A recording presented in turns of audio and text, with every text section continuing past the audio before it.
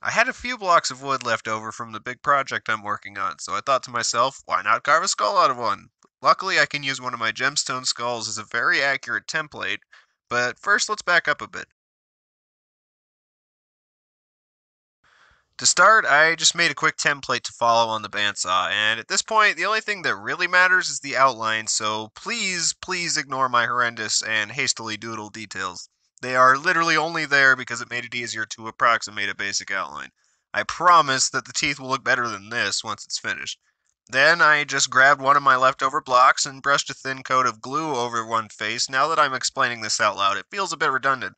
I mean, it's probably safe to assume that anyone watching this is old enough to know how to glue paper onto something, so I guess now is the time to use all of that training from kindergarten. Alright, now I have my shape cut out, and normally I would cut the edges as well so that it isn't so square and save myself some time, but doing that on something like a skull may be problematic because I need a fair amount of thickness for the cheekbones and temples, so I'm just not going to worry about it. I adjusted the shape a bit because the back of the skull was a bit too flat. Luckily, I can use one of my gemstone skulls to go off of, because this one is extremely accurate. I'm going to keep the talking to a minimum because I don't want this video to get too long. So I guess with that being said, I'll just jump in and start carving.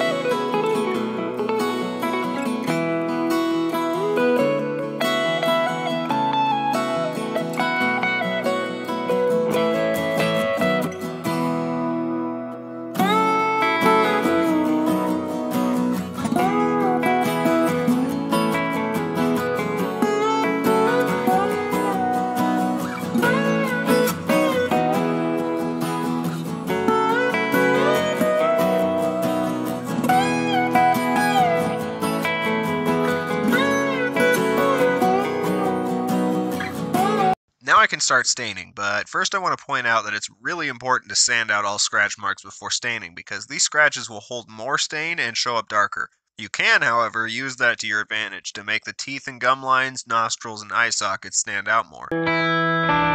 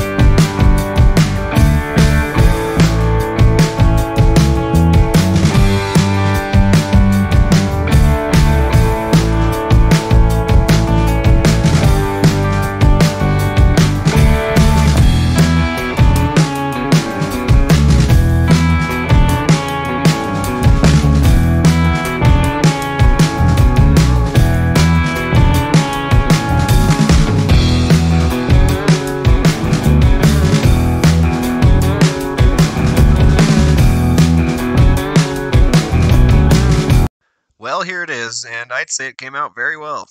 That dark stain really helped bring out the texture of the grain of the wood. You can use just about anything as a top coat. I just used high gloss lacquer because the sheen really helps make the contour stand out.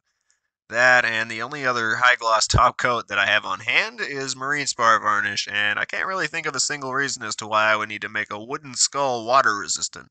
Thank you for watching. I'm still working on my big project, but as always, I'll have another video out soon.